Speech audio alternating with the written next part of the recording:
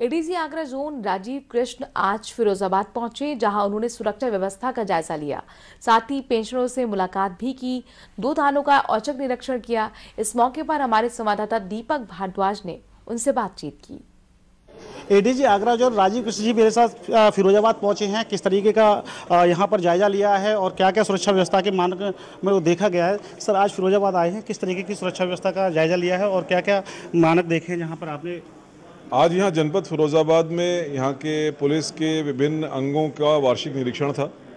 इसी सिलसिले में यहाँ पर आया था पुलिस लाइन, थानों महिला संबंधी अपराध, अपराधियों के खिलाफ कार्रवाई, जन शिकायतों के निस्तारण इत्यादि की मैंने समीक्षा की है। आने वाले इलेक्शन के बारे में क्या तैयारियाँ की जाएँगी उसकी समीक्षा की है। और सुरक्षा के बारे में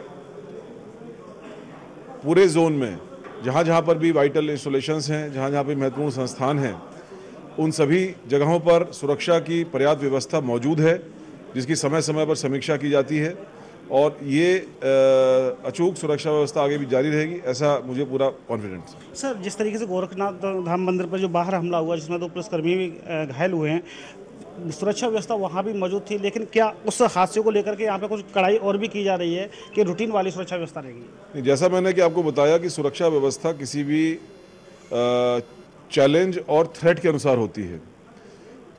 जो हमारे पास सूचनाएँ हैं थ्रेट की और चैलेंजेस की, उनके अनुरूप सुरक्षा व्यवस्था पर्याप्त की गई है। और अगर किसी प्रकार का कोई थ्रेट या चैलेंज सामने आता है नया तो उसके अनुरूप सुरक्षा व्यवस्था की जाएगी। ये थे मेरे साथ एडीजी जॉन आगरा राजीव कृष्ण जी। उनका साफ़ कहना है कि जहाँ भी जो भी धार्मिक स्थल हैं, उनकी सुरक्षा व्यवस्था कड़ी कर दी गई है और कहीं भी किसी भी तरीके की कोई कोताही नहीं बरती गई है, क्योंकि आज एडीजी राजीव कृष्ण फिरोजाबाद पहुँचे थे और उन्होंने पूरे सुरक्षा व्यवस्था का जायजा लिया। कैमरा पर्स के साथ के साथ सारा समय के लिए फिरोजाबाद से दीपक भारद्वाज।